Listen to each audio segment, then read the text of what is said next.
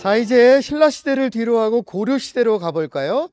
고려시대에는 연등해와 팔관해라는 대축제가 있었는데요. 이 축제는 신라의 진흥왕 때부터 쭉 이어진 겁니다. 유네스코 세계무형유산으로 등재되어 있습니다.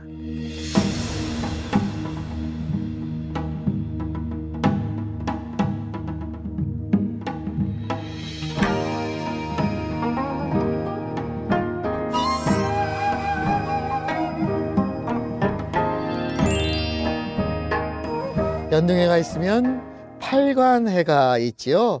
팔관해는요, 호국 정신에서 출발한 그런 축제입니다. 나라를 구하는 것이 우리 사람들이 다 합심을 해서 커다랗게 축제를 여는 것도 이 나라를 구할 수 있다. 이런 생각이 밑에 깔려 있다고 저는 생각을 하는데요. 팔관회에서는요, 가무백희가 펼쳐져 있습니다.